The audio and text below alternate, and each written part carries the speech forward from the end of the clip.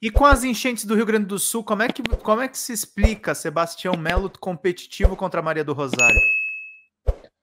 É, é, é o fundo conservador e bolsonarista que se mantém. Quer dizer, eu tenho família, minha família é oriunda de São Leopoldo, né? Uhum. tenho essa, essa origem é, antiga. Eu tenho primos que até dizer que não houve tragédia no, no Rio Grande do Sul, que foi uma invenção para fazer propaganda do Lula, até isso já falaram. Né?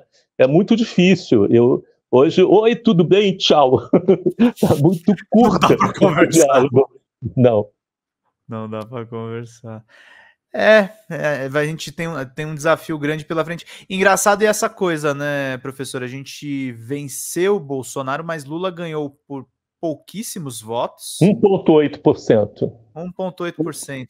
E do ponto de vista legislativo, a esquerda patina muito, né? A gente não elege vereador, deputado. É, a gente tem que chegar a uma conclusão, e a Dilma tinha começado isso, mas tudo que a Dilma faz, fez, falou, vira piada, ninguém leva a sério. E a Dilma ela tinha entendido isso muito claramente. Há um erro na Constituição de 1988. Ela foi feita como uma Constituição parlamentarista, depois deu uma guinada presidencialista, manteve mecanismos de ambos os eh, sistemas, sem o balanço, por exemplo, que tem a Constituição francesa, embora a gente não saiba como vai funcionar a coabitação, porque o Macron não dá respostas lá.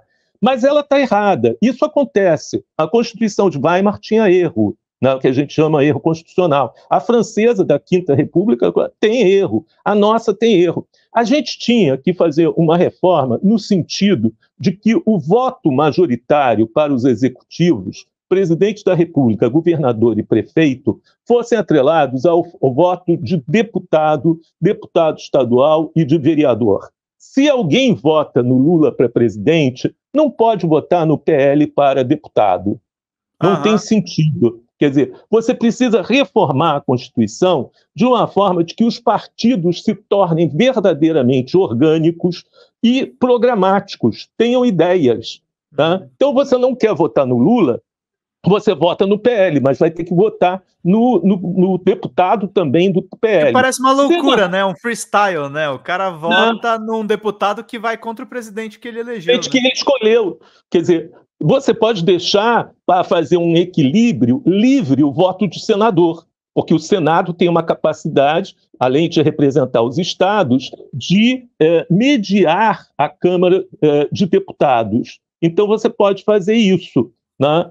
É, fica livre o voto para senador, mas, e claro, né, é, votos é, é, em todos os estados. Mas o voto de deputado federal estaria atrelado ao mesmo partido do voto de presidente, né? ou pelo menos da coligação. Ou pelo menos da coligação. Se a gente não fizer isso, o Brasil vai se tornar um país ingovernável.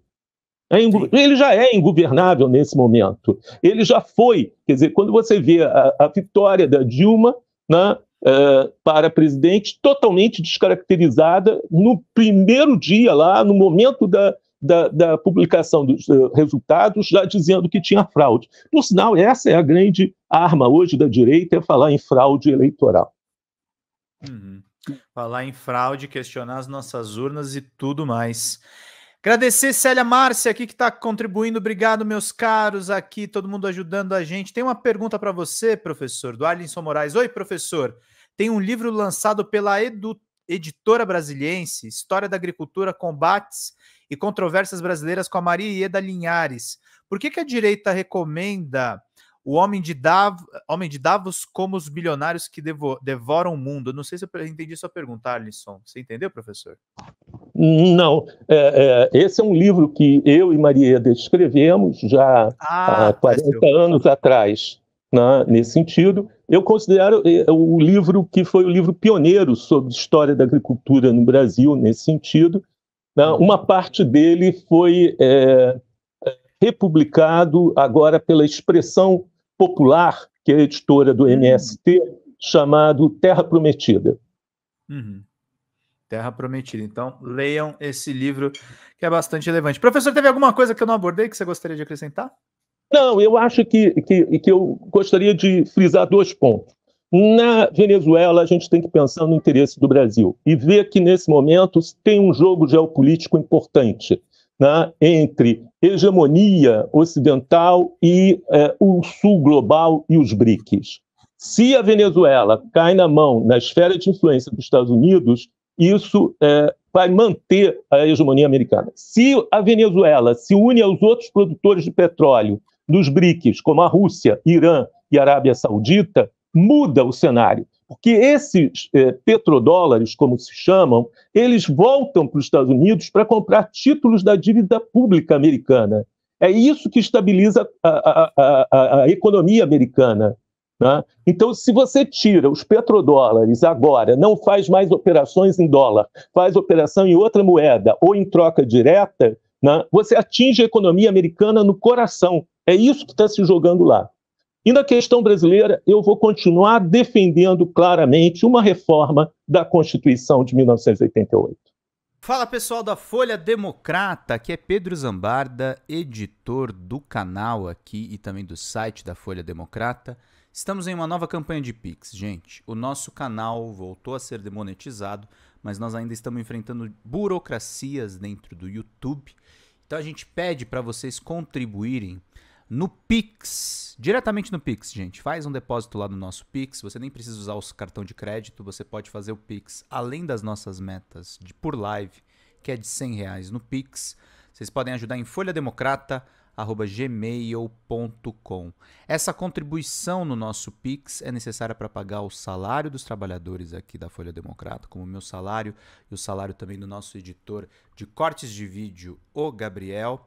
Então é necessário a gente fazer essa campanha de arrecadação, gente. Folha Democrata é um canal novo que surgiu nessa era democrática de governo Lula 3 e a gente precisa do seu apoio para continuar fazendo esse trabalho.